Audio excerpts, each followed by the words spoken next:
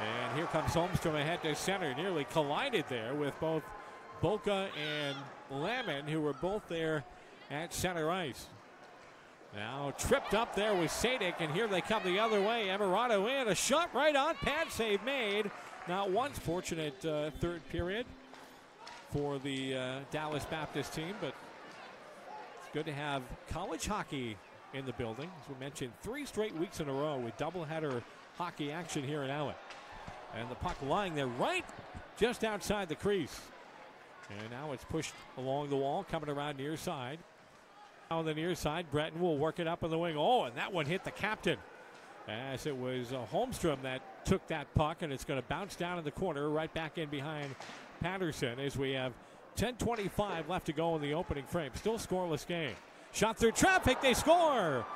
And fired into the back of the net by J.C. Campagna, the former American. And for the first time in this series, Norfolk has the lead. Campagna. As Norfolk has it outside. Over now to the near wall it comes to Schmier. He'll try to spin away from his man, knocked down by Topping. And now Topping chasing after it, tip right back to center. Eight minutes and three seconds left to go here in the opening period. 1 0 Norfolk. The Americans on the penalty kill. Allen had a five on three power play, unable to score, and just like that, it's two to nothing, and a power play goal on the 10th shot of the hockey game has put Norfolk up 2 0. There's a long shot. Oh, and that one, I would love to see a replay on that one. Now I heard it clank. Chuck again wins the draw. Tip back outside to Breton. There's a pass across, long shot. Gagne rebound. Oh, and again it was off the pipe, and the Americans fans reacted. And short now is Norfolk. Back in is Breton trying to get it across in front. Loose puck in front. Chuck on the doorstep. It's kicked out. Oh, the Americans with a golden opportunity there. The goalie was out of position. Knocked away by Guptill. Tipped off the boards by Sadek. Over now to Guptill in the slot for a shot right on. And Halverson is not giving up a rebound, and it's starting to get physical out there, folks. Here comes Sheehy, two on one. Sheehy in a shot. Oh, and he fired it up high. Welcome to Allen. Cole Fraser. And here they come again the other way. Back into the zone, Sherman. And the puck will end up going out with 11.54 left. And here we go again. And now we got a fight going on here, and that is Cole Fraser. No, that's Guptill, excuse me.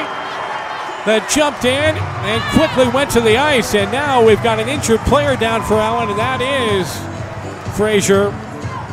And here comes Jordan Dutton, the trainer. Oh man, and you can tell by he is in a lot of pain. And that one blocked. Now Sadek will work it in front. Asuchak tipped it back in behind the net. As we're down to 154 left to go in the second period. Allen down 2 0. McEnany in behind the net. Over now on the far wall. Over to Sadek. Sadek shot right in the glove. Rebound. They score! Norfolk trying to hold it in.